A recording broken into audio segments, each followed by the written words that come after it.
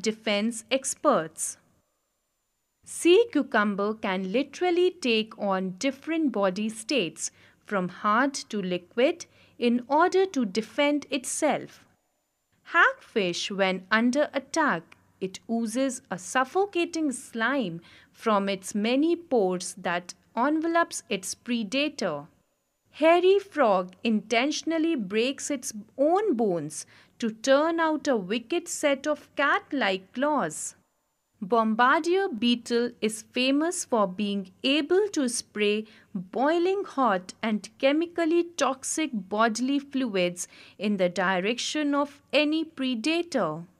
Horned lizard, when attacked, the blood vessels in its eyes burst and it sprays its attackers with blood from its eyes. Fact Pelican is the fish eating bird with a huge pouched bill. Hurrah!